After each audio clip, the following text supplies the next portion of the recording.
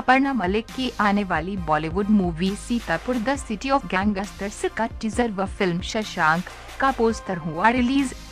जल्द दिखेंगी पर्दे पर ग्लैमर की दुनिया और फ़िल्म इंडस्ट्री की उभरती हुई हस्ती और अदाकारा है अपर्णा मलिक अपने मेहनत और टैलेंट को संपूर्ण समर्पण देकर। अपर्णा मलिक ने अब तक चार फ़िल्मों की शूटिंग पूरी कर ली है, जिनमें से तीन बॉलीवुड फ़िल्में हैं और एक साउथ की फ़िल्म है। है अपर्णा अभी आने वाले समय में Shashank Sitapur, the city of gangsters, Myra एवं साउथ मूवी टी में मुख्य कलाकार के रूप में दिखने वाली हैं। अभी हाल में ही Sitapur, the city of gangsters की पोस्टर रिलीज़ हुई है, जिसका टीजर आज रुद्रंश एंटरटेनमेंट से रिलीज़ हुआ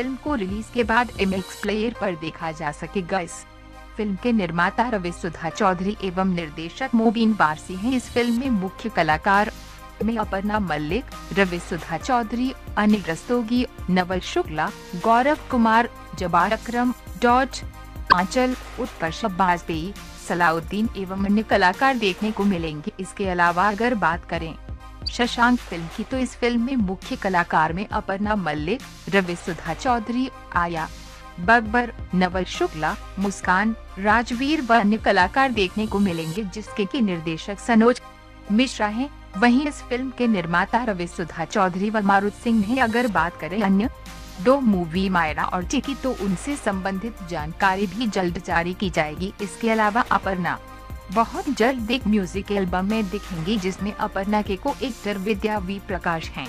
एवं एल्बम के गायक एस देसाई हैं और निर्देशक सुशांत खत्री हैं। साथ ही अपर्णा मलिक के द्वारा रचित एवं गाया गया कोरोना सॉन्ग भी बहुत जल्द आप लोगों को देखने को मिलेगा, जिसका निर्देशन, लिरिक्स कंपोजिशन खुद अपर्णा ने किया है एवं इसे म्यूज़िक दिया है। ने अपर्णा मलिक सोशल मीडिया पर भी काफ़ी एक्टिव है। कृपया हमारे चैनल को सब्सक्राइब करना, वीडियोस को लाइक और शेयर करना ना भूलें।